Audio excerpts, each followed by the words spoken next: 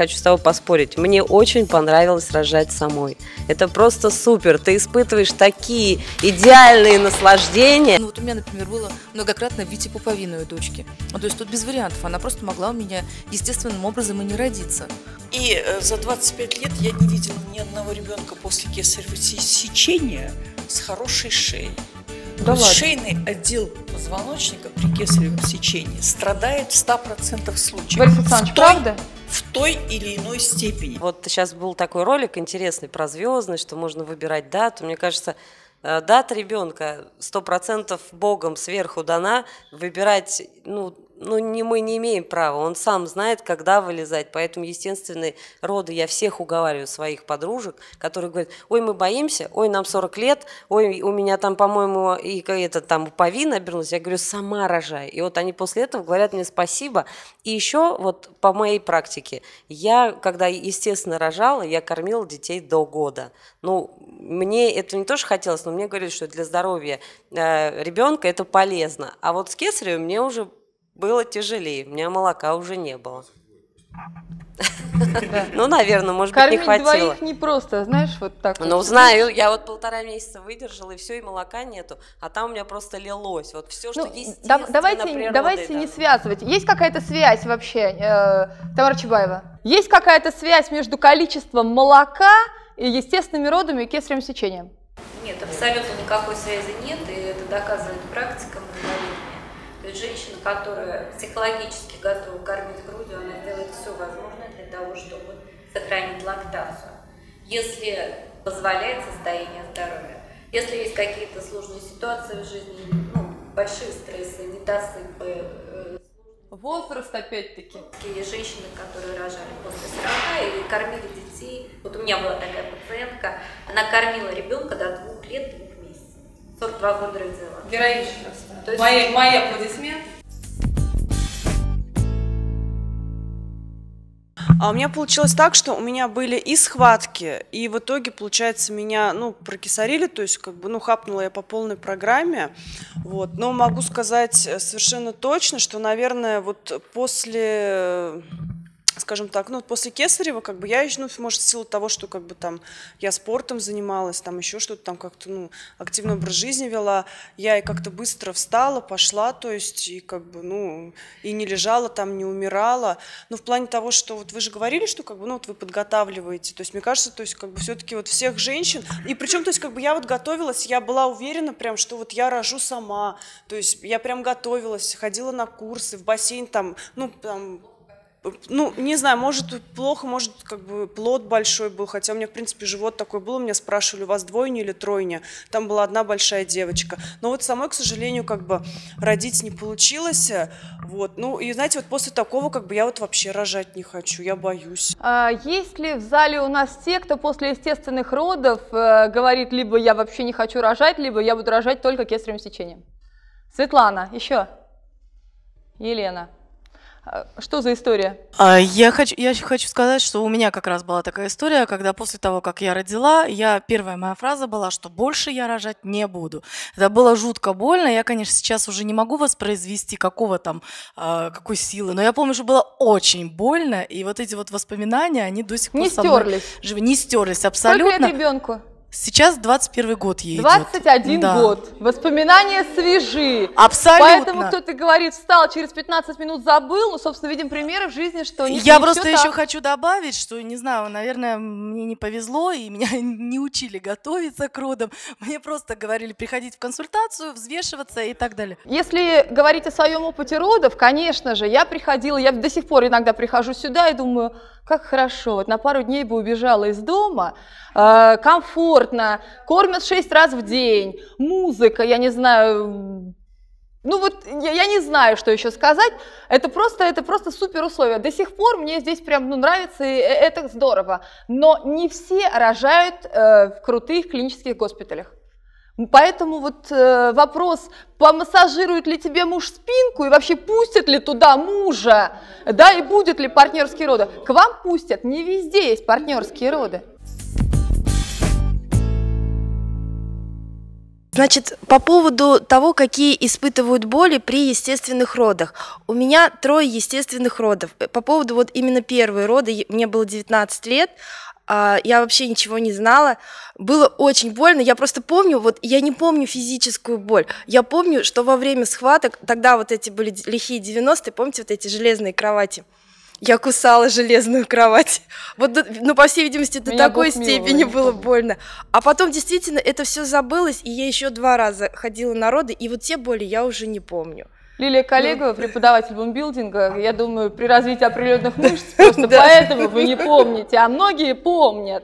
Инес Рамирес Перес – крестьянка из мексиканской деревни. Никакого медицинского образования у нее нет. Тем не менее, она сделала сама себе кесарево сечение. Каким-то чудом все прошло успешно, и она сама и ее новорожденный сын остались живы. Это случилось в марте 2000 года. Женщине пришлось пережить 12 часов непрерывной боли. Схватки усиливались, но роды не происходили. Она поняла, что-то идет неправильно и решилась на самостоятельную операцию. Женщина выпила три маленьких стаканчика крепкого ликера взяла кухонный нож и разрезала себе живот. Инесс сделала 17-сантиметровый вертикальный разрез справа от пупка. Она достала из матки мальчика, перерезала пуповину и потеряла сознание. Через некоторое время женщина пришла в себя, забинтовала разрезанную матку одеждой и позвала на помощь. Инесс нужна была операция, потому что она повредила себе кишечник. Когда ее спросили, зачем она это сделала, женщина ответила, что не могла терпеть боль и решила, что если ее ребенку суждено умереть, она тоже умрет. Но она была уверена, что Бог спасет им жизнь. Ребенок родился здоровым. На сегодняшний день Инесс Рамирес Перес считается единственной женщиной, которая выжила после проведения успешной операции кесарево сечения на себе.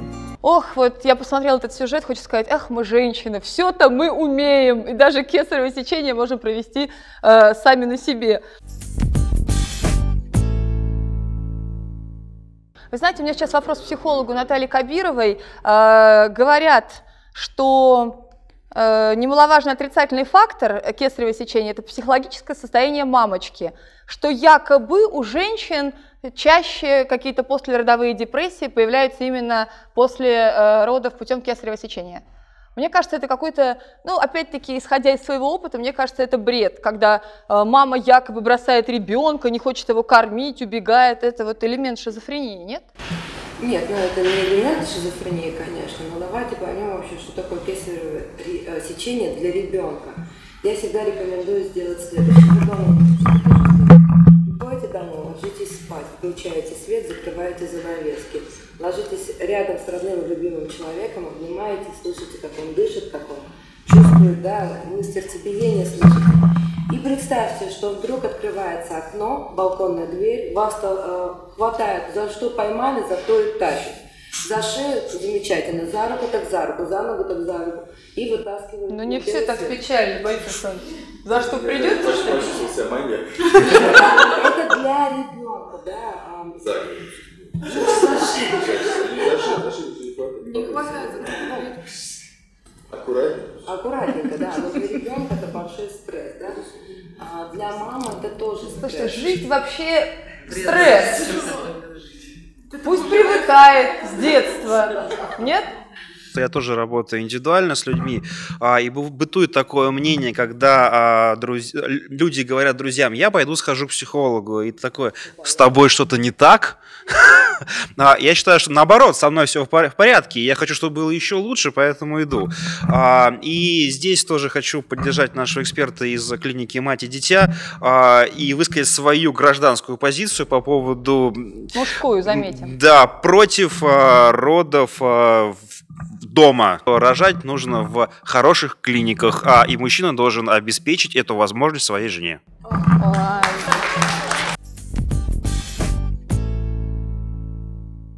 Друзья, сегодня очень много различных мнений на тему э, как за кесарево сечение, так и против кесарево сечения. Но, наверное, э, каждая женщина все-таки вправе выбирать, советуясь с врачом, опять-таки, э, как ей рожать. Не знаю, у меня самые потрясающие впечатления, настроение супер, поэтому, может быть, я еще раз повторюсь, у меня несколько детей, но опять-таки мой случай это абсолютно не показатель. Борис Александрович, вот э, есть очень много э, различных точек зрения все-таки за и против. Э, тем не менее, я поддерживаю вот абсолютный сторонник кесарево сечения, потому что у меня есть опыт абсолютно положительный, когда не было никаких осложнений, никаких проблем со здоровьем, никаких проблем в родах. И очень страшно э, все-таки, что может пойти не так, как тебе бы хотелось. Конечно же, э, ваша рекомендация – это довериться профессионалам своего дела и как говорится, все будет хорошо, но ведь не факт. Ну, я еще раз повторюсь, вот я сейчас смотрел ролик, и э, рождение детей – это чудо абсолютно, я думаю, что все со мной согласятся. И как оно произойдет, зависит не всегда от врача, не всегда от женщины, да, и, в общем, на самом деле, как бы это не крамольно звучало из моих уст, но все, на все воля Божья. И предугадать, предусмотреть все развития, варианты развития событий в таком неблагодарном, в таком непредсказуемом э, моменте, как роды, очень сложно. И на самом деле главное, что я хотел сказать, что у каждого своя дорога, свой путь. И если говорить про э, медицину, то более правильно роды через естественно пути. Это более верно, это более физиологично, это более правильно для ребенка. Но мы все действительно, мы все заложники ситуации, мы все э, являемся продуктами нашей цивилизации, которые э, дает нам свои принципы. Если там раньше к 30 годам все уже рожали по 10 детей, то сейчас репродуктивный возраст только начинается в 35 у многих.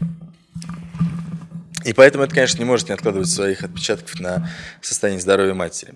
Поэтому главное, что хочу сказать, что для всего должны быть свои показания и противопоказания, и самое главное, должно быть доверие к врачу. А, и тогда, я думаю, что гораздо больше вероятность того, что все будет хорошо, и вы знаете, очень у многих вопрос, мы тоже посмотрим сюжет, возможно ли естественные роды после кесарево сечения? Да, однозначно. Как правило, женщины говорят, что раз я родила кесаревым, все мои последующие дети будут кесаревы. Ольга – мама теперь уже троих детей. Она благодарит врача, который помог ей осуществить мечту, ведь женщина давно хотела родить естественным путем. После двух кесаревых сечений Ольга была решительно настроена третьего ребенка родить самой. Естественные роды с двумя рубцами на матке – случай исключительный. Риски огромные, но женщина на отрез отказалась от кесарево сечения. В роддом Ольга поступила уже в схватках и написала отказ от операции. Когда она поступила уже в родах, с раскрытием э, мы констатировали факт родов, и я сказала, что ну все, пойдемте в операционную, собственно говоря. Она отказалась. То есть мы оформили отказ от кесарево сечения, но роды протекали, в общем-то, практически, я бы сказала, физиологически. Она очень хорошо готовилась, очень детально готовилась, без обезболивания. Сама Ольга говорит, что ей необходим был врачебный контроль, ведь она не хотела неоправданного риска. В родах был тяжелый момент, но в итоге все прошло так, как она хотела. Все, я уже я думала, что я не справлюсь. И вот э, Юлия Анатольевна уже последний осмотр говорит, а, ну все, вот она все раскрылась, все, мы рожаем, давай, от тебя все зависит. И тут мощный прилив сил, мощный прилив, не знаю, откуда это взялось. И вот это чудо рождения. Женщина родила мальчика весом 4 килограмма. Сейчас с ним и с мамой все хорошо. Ну, роды после двух рубцов, э, роды у пациентки с двумя рубцами, с рубцом на матке после двух операций кесарево сечения, надо же выражаться академично, а, конечно, это такая казуистика, но они бывают, они существуют, они проходят. Этот сюжет, кстати, был снят тоже в нашей клинике в Новосибирске, это тоже клиника группы компании «Мать и дитя». А, если говорить же про роды у пациенток с рубцом на матке, с одним рубцом на матке после операции кесарево сечения, то это хорошая такая практика, ежедневно не могу сказать, что ежедневно, но еженедельно в нашем госпитале, в любом роддоме мы сейчас достаточно много рожаем через естественный выбор родить естественно? Да, да. Ну, до 4, там много факторов ограничивающих. Роды должны начаться самопроизвольно, вес малыша не должен превышать 4 килограмм, должно быть головное предлежание, а не должно быть, э, не должно быть показаний, которые явились показаниями к операции в первый раз и так далее и тому подобное. Если все факторы совпадают, то роды через естественно родовые пути с рубцом на матке возможно. Ну что ж, дорогие друзья, вы сегодня услышали огромное количество различных мнений. И, конечно же, как поступать э, в вашей жизни, решать только вам. Вы смотрите телеканал M-Television, ток-шоу «Супер Мама». Будьте счастливы и здоровы, ведь человеческая жизнь и здоровье – это действительно бесценно. До встречи!